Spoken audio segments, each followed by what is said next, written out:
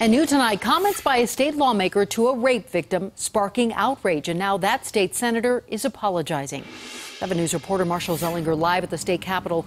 Marshall, you talked with the victim tonight.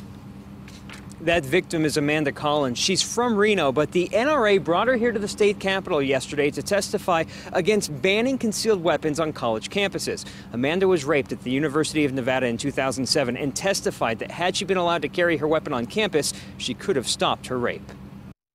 I know without a doubt in my mind at some point I would have been able to stop my attack by using my firearm. The Senate Republicans providing us this video of Amanda Collins testifying against a ban on concealed weapons on college campuses. After her testimony, Democratic State Senator Evie Hudak um, responded that statistics were not on Collins' side. Chances are that that if you had had a gun, then he would have been able to get that from you and possibly use it against you. For every one woman who used a handgun to kill someone in self defense, 83 were murdered by them. Almost immediately, the senator attacked on her Facebook page. One comment the way you treated that rape victim during her testimony was a disgrace and disgusting.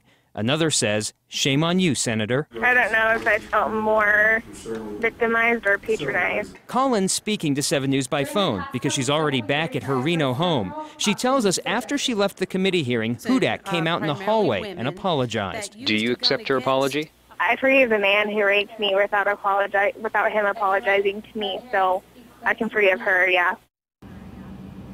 Here's a statement from Senator Hudak tonight. Quote, I didn't mean to be insensitive towards Amanda Collins' experience. Amanda was reflecting on her experience and asked the committee if having a gun would have made her safer. I realize now it was a rhetorical question, and that ban on concealed carry on college campuses did pass out of that committee.